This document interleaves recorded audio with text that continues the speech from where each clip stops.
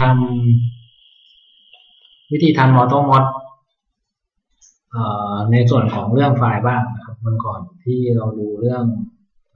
การทำ auto mod ในฝั่งของ database ไปแล้วนะครับฝั่งออโต้มอดในฝั่งดัตเตอร์เบสก็ไว้สำหรับแอดค่าคอนฟ lict แอดตารางเพิ่มแอดฟิลเพิ่มในตารางเดิมที่มีอยู่แล้ว ลบ field ลบ field ที่เพิ่มไป แล้วก็เรื่องของเวอร์ชันของ mod ที่มีการปรับเปลี่ยนในใน database นะครับเวลาอัพเวอร์ชันมาถ้ามีเวลาลง auto mod ถ้ามีอัพเวอร์ชันไป มันก็จะให้เลือกว่าเราจะอัพเวอร์ชันหรือว่าจะทำอะไรกับ mod ตัวนั้นทีนี้มาดูวิธีการเขียนออโตมอดเพื่อให้โปรแกรมมันสามารถค้นหา ตำแหน่งไฟล์ต่างๆ แล้วก็แทนที่ได้ถูกต้องแท็กแรกสุดของอไฟล์ติดตั้ง AutoMod นะครับ ไฟล์นี้จะประกอบด้วยแท็ก XML ทั้งหมดนะครับ สามารถเปิดด้วยเบราว์เซอร์ได้ลองเปิดด้วยเบราว์เซอร์ดู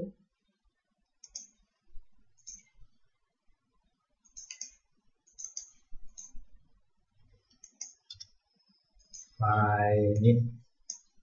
ถ้าเราเปิดด้วยด้วยเบราว์เซอร์เราก็จะอ่านง่ายนะครับเป็นรูปแบบ แล้วก็จะมีรายละเอียดต่างๆ เดี๋ยวมาดูว่ารายละเอียดต่างๆ ที่เราต้องใส่ลงไปในauto mod เนี่ยมีอะไรบ้างนะครับตัวแรกสุดก็คือเรื่องของเอาตัวแรกสุดก่อน ตัวนี้แท็กของ XML อันนี้เหมือนจะซ้ำนะคนเขียนครั้งแรกเขาน่าจะมีปัญหาอยู่ แล้วก็แท็กถัดมาก็คือ ถ้าเรายุบแท็กนะครับยุบแท็กตรงนี้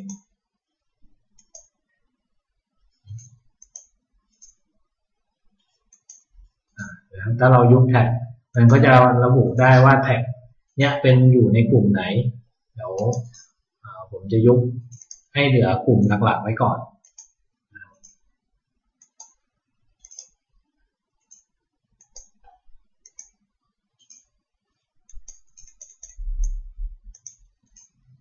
action group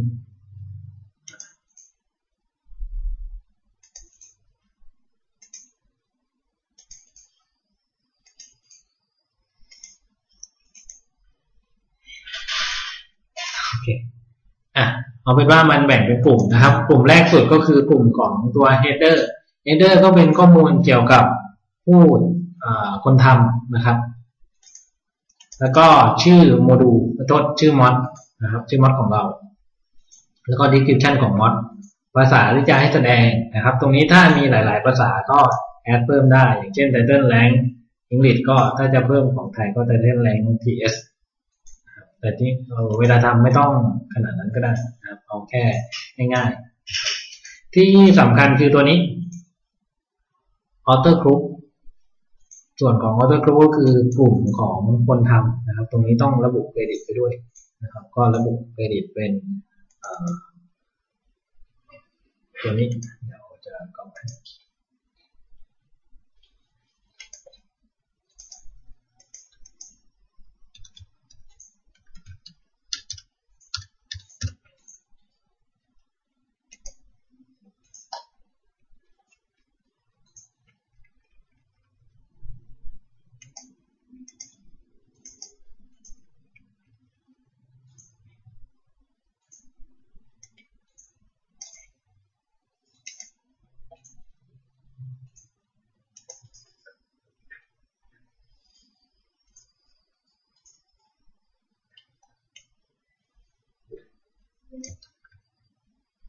ผู้ผลิตก็คือ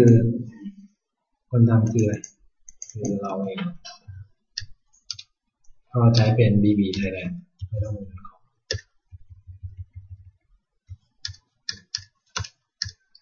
นี่คือกลุ่มของคนทำนะครับ ต่อไปเวอร์ชันอะตรงนี้ตัวนี้กับข้างในไฟล์ที่เราทำเนี่ย จะคล้ายๆกันนะครับคือระบุให้ตรงกันไปเลย ระบุเป็นเวอร์ชันที่เป็นเวอร์ชันหลังสุดของของตัวโปรแกรมนี้นะครับ ก็หนึ่งสมมติถ้าเราเริ่มต้นที่ศูนย์จุดศูนย์จุดหนึ่งตัวนี้ก็ศูนย์จุดศูนย์จุดหนึ่งนะครับ แล้วก็ตรงนี้ส่วนที่เป็น target version ส่วนที่เป็น target version ก็คือ mod ตัวนี้ติดตั้งได้กับ phpBB เวอร์ชันไหน เวลาในการติดตั้งถ้าติดตั้งแบบแมนนวลจะใช้เวลาเท่าไหร่ อันนี้ก็เราก็แค่เขียนลงไปให้เป็นการประมาณการลงไปให้ครับ ต่อไปตัวที่สำคัญก็คือ p p installer ตัวแท็กนี้ แท็กนี้สำคัญไว้ทำอะไรอ่าไว้ติดตั้งมันก็คือตัวเนี้ย ที่เราเขียนขึ้นมา พอติดตั้ง mod เรื่องปรับแต่งไฟล์แก้ไขข้อมูลไฟล์ต่างๆแล้ว มันก็จะให้คลิกมาที่ไฟล์ติดตั้งเพื่อปรับโครงสร้าง database ข้อบอกมาจากที่นี่แหละ ถ้าเปลี่ยนชื่ออื่นก็เปลี่ยนไป หรือว่าจะไว้ในโฟลเดอร์ install ก็ไปเปลี่ยน slash folder install เข้าไปได้มันคือหน้าที่เข้ามาตรงนี้ใช่ครับ มันเป็นจริง ๆ มันลิงก์มาจากข้างในที่กดปุ๊บมันก็จะวิ่งมาที่หน้านี้ โอเค ต่อไปนะครับ อันนี้ก็เอาเหมือนเดิมก็ได้นะครับ ในนี้ก็เขียนตามนี้ได้เลย ต่อไปตรงนี้ที่ต้องเขียนบอกไว้ตลอดก็คือ copy เวลาเราทำมอดเนี่ย บางทีเราตั้งเราสร้างไฟล์แยกออกมา ไฟล์แยกออกมาเนี่ย เราไปเก็บไว้ในรูทเวลาทำซิปตัวติดตั้งจำได้ไหมตัวนี้เห็นไหมครับ จะอยู่ในรูทรูทตรงนี้จะเท่ากับผ่านนอกสุดของ PHP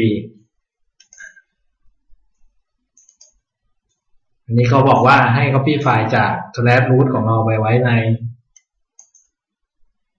ใน root ของ PHP นะครับตัดมาถัดมาตรงนี้เป็นเรื่องของกลุ่มของไฟล์ครับกลุ่มของไฟล์ก็คือไฟล์ที่เกี่ยวข้องที่เราจะค้นหาแล้วก็แทนที่ ถ้าไฟล์ที่เพิ่มเข้าไปจะอยู่ในนี้ทั้งหมดไม่เกี่ยวกับเรา มันจะ copy ไว้ให้เอง เราไม่ต้องไปทำอะไรกับไฟล์นั้นแล้วนะครับ แค่เขียนหัว ไว้ว่าไม่ให้เข้าถึงไฟล์นั้นโดยตรงอะไรเงี้ย ไว้แค่นี้พอดูได้ไหมจำไม่ได้เออดูไฟล์ที่ใช้อีกเป็นไฟล์ที่เราใช้สร้างเนาะใช่ไหมจำใจไม่ดีอ่าอย่างไฟล์นี้ที่เราสร้างขึ้นมาเองฟังก์ชัน slide app ฟังก์ชัน slide app อยู่นี้อันนี้ ก็เขียนตามโครงสร้างมันกับไฟล์นี้เราจะไม่ไปทำอะไรกับมันเพราะเราเขียนขึ้นเองทั้งหมด แต่ไฟล์นี้ เราต้องมีการค้นหาแล้วก็แทนที่ เพราะฉะนั้นมาดูที่ในตัวนี้ว่าใช้คำสั่งอะไรนะครับ ตัวแรกที่มีการค้นหาแล้วก็แทนที่คือ input function ส่วนใหญ่ถ้าเพิ่มตารางเนี่ยจะต้องมาทำที่นี่ ตรงนี้เขาบอกว่า มาดู syntax นะครับ tag edit tag file ดูตรงนี้ ca data ทำเข้ามาถึงตรงนี้ เป็นรูปแบบของมัน วงเล็บเครื่องหมายตกใจ วงเล็บ แล้วก็คำว่า c data แล้วก็มีวงเล็บอีกตัวหนึ่ง ข้อความจริงๆที่ไปค้นหาก็คืออยู่ในนี้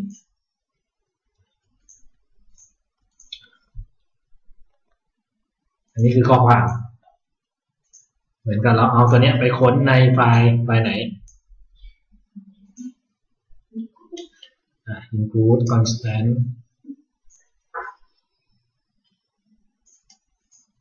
include constant include constant ไว้เก็บอะไร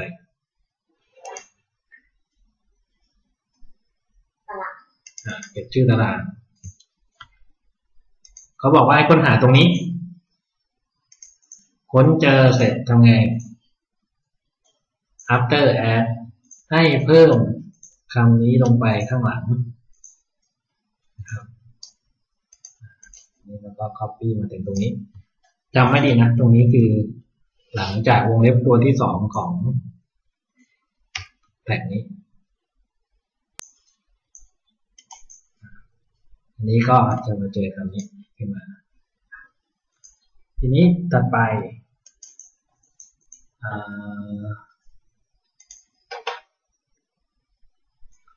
ต่อไปพอแทนที่ตรงนี้เสร็จไอชื่อตารางเนี่ยแทนที่เราจะต้องไป define prefix ไว้ข้างในก็ไม่ต้องแล้ว เราก็เอาชื่อนี้ไปใช้ได้เลยนะครับในตัวติดตั้งของเราก็นี้ก็ใช้ชื่อแบบนี้ได้เลยเข้าใจไหมเพราะว่าเรา define content ไว้ในนี้แล้ว ว่าให้มันชื่อตารางนี้ ไปชื่อตารางก็อันนี้ได้เลยเป็นร่องสองหนึ่งอันนี้น่าจะมีปัญหาตอนอินเตอร์ตอมอะไรทุกอย่างโอเคนะ ต่อไป อันนี้ก็เสร็จไปไฟล์หนึ่งต่อไปก็ทำเหมือนเดิม ค้นหาให้ค้นหาอะไร ตรงนี้ต้องเป็นยูนิคยูนิคแบบว่าไงห้ามไปซ้ำห้ามเจอหลาย ๆ ที่ ถ้าเจอหลาย ๆ ที่ตัวออโตมอตทำงานมีปัญหา อย่างเช่นไฟล์ตรงเนี้ยคนที่ทำออโตมอตต้องรู้ก่อนว่าไอ้ตำแหน่งที่ค้นหาจริงเนี่ย มันมีที่เดียวใน ในไฟล์นี้